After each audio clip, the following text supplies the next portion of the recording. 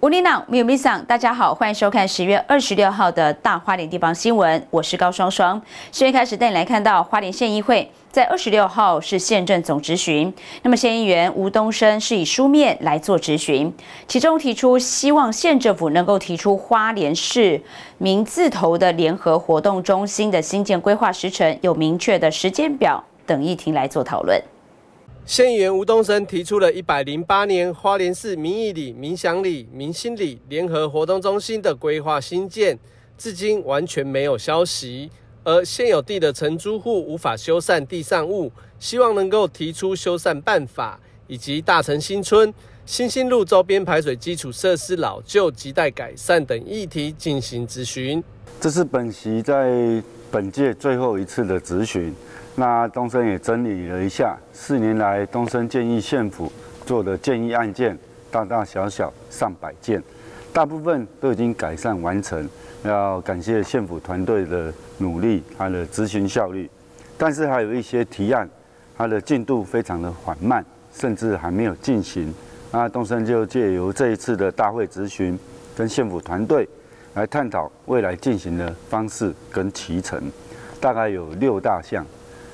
不管是在都市计划，还是基础工程，甚至连县府承租的土地这方面，那就这六大项方面，第一个是东升在一百零八年提出我们民意里、民想里、民心里联合活动中心的规划新建，至今完全都没有消息。那本局一直查询民意段、民意一小段地号是花莲县政府的土地。它的地目也可以做活动中心的用途。那实际上，我们这个山里大概有七千人，两千八百户，还没有一个活动中心可以提供民众洽公、咨询、室内休闲活动的场所。而且这边有抵费地标语款，可以来作为规划使用新建活动中心。为什么建议了那么多年还没有下文？第二个是在一百零九年五月份的提案。东山建请县府研议订定现有基地承租地上权、地上物修缮的同意书。第三个，一样是在一百零九年五月份提出的。东山在走访渔民的过程，了解到渔民的苦、渔民的痛。那他们一直希望在我们的渔港的港嘴要加深工程，尤其是退潮的时候，船底有可能会刮伤。不知道农会处这边的进度是怎样？为什么到现在完全没有回报？第四案在一百一十年三月的时候，东升就已经提案要求，因为大城新村附近地区，它的细部计划已经通过了，那它有一条计划道路是从府前路一直开到上智路。大家都知道，要富就要先开路，那一个都市计划的继承区。要有的是道路，要有的是水沟，要有的是排水系统。排水系统有雨水跟污水，这一些完全没有进度，没有在做。再来第五案的部分，东升也曾经提案说，要请县警察局交通队到国中小到现场去看看上放学的情形。这些年来，东升执行导护五百多次。发现了许多的问题，那也逐渐的下去改善。不管跟县府、跟市公所，总是遇到一个来解决一个。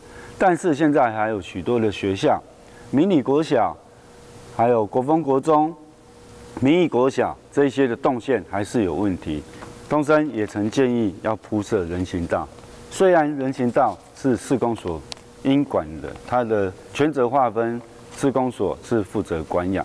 但是这一条人行道在商校街上，它是过去呃国宅用地，有许多退休的公务人员在上面居住。虽然是私有地，但是如果市公所要私作的话，他要区分所有权人百分之百的同意才可以。这一点真的没有办法做到。站在县府的角度，供公众使用二十年的场所道路是可以来做维修新建的。是不是请县府加快脚步？这一条人行步道它并没有很长，但是攸关整个商校街的路面、上下街的景观，还有居住在附近居民他的行的便利，希望县府这几点能够尽快的做到。如果连议员的建议县府都可以拖延的话，那一般百姓是要如何来向县府做出澄清改善的动作？以上。记者林杰花林市采访报道。